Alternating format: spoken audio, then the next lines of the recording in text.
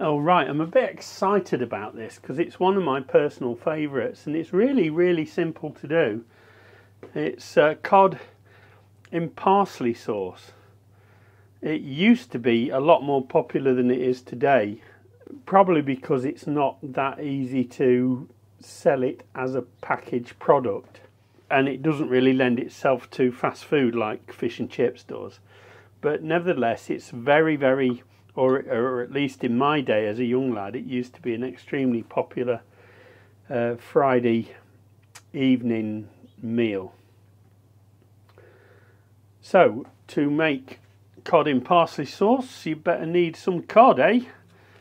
I've got uh, 260 grams of cod loins and these are particularly nice. They're taken from near the tail end of the fish and uh, it's a bit like the filet mignon of the cod.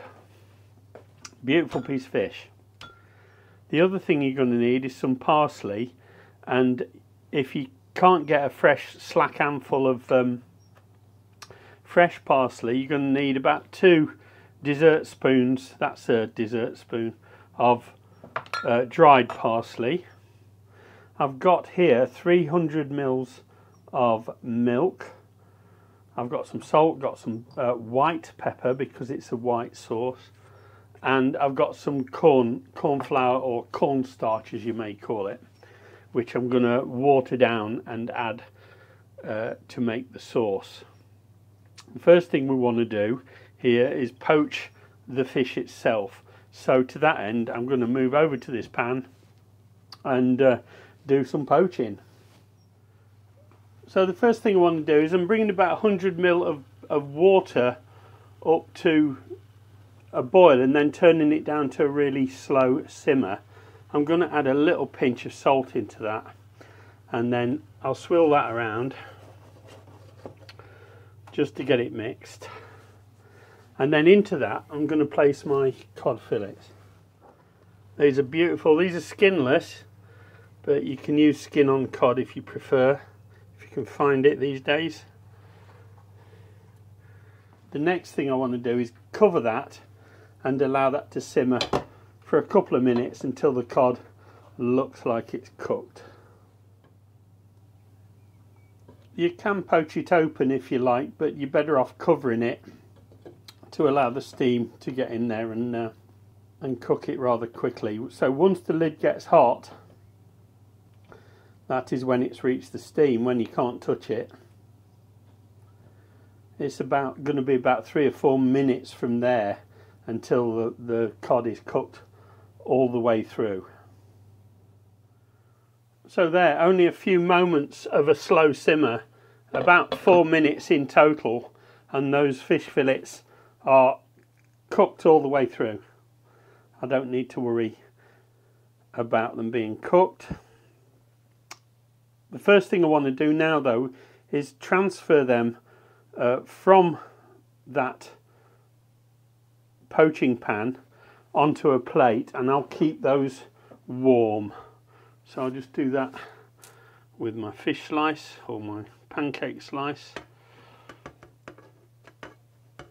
and you see it's beautiful glistening cod loins that's wonderful cod meat that is. Wonderful. One of the best fish in the northern hemisphere without a doubt. And perhaps the most important food fish in the northern hemisphere. I'll put that to one side. And then I'm just going to add in a little more salt about a pinch pinch more salt into there and a pinch of pepper. I rather like pepper, so I'm going to add a fair bit, that much, into mine. And then I'm going to add in all the parsley. And I'll stir that in.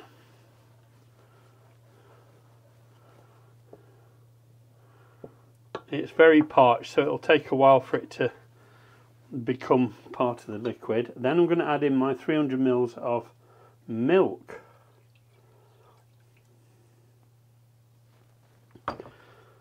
my two dessert spoons of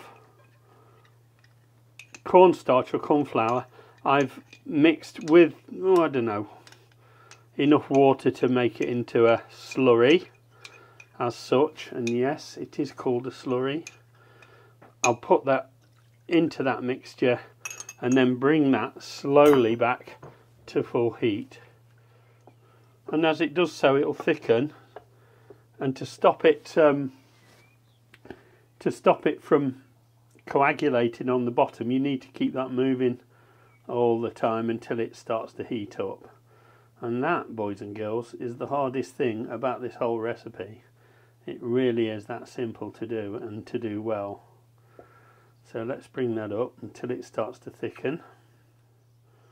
Okay as it starts to thicken you need to keep it stirring this is important. You'll notice all the um, parsley floating on the top has now stabilized inside the sauce. And I've used quite a lot of parsley because I like the flavour. You can use a little less. You can probably get away with one dessert spoonful of parsley in this recipe. But personally I like a lot. Because it's awesome and parsley improves the flavour of just about anything you serve it with. I'm going to be serving this up with um, some baby new potatoes which you might be able to see from here. Baby new potatoes which I've got steaming away there. And some petit pois which I've got simmering away there. And they're from Frozen they are, the petit pois from Frozen, which are perfectly good for this purpose. Now, I'm going to add in, back in, the fish fillets.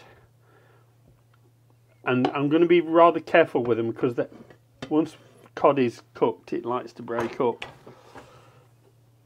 I'm going to put them back in there, spoon over some of the sauce. That does look good. It looks good to me because I know how good it tastes. It's a fantastic recipe this is. People who mock and denigrate British food have never had cod in parsley sauce. It's obvious, isn't it? Here we go.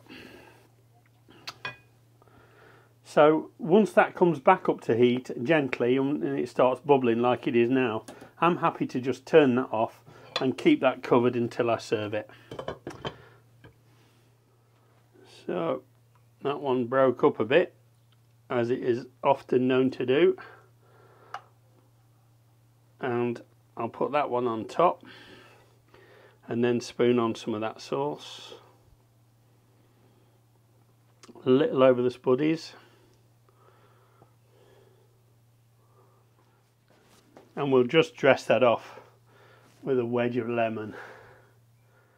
Gorgeous Thanks for watching. If you like what you see, please uh, give us a thumbs up. And um, many of you are not subscribed, so um, please subscribe if you like what you see. And um, remember that subscription costs you nothing, okay? But it helps me beat the uh, YouTube algorithm and gets me in front of more people. So um, thank you very much for your interest. And uh, I'm sure if you decide to make this, you're going to make a feast of it. Bye for now.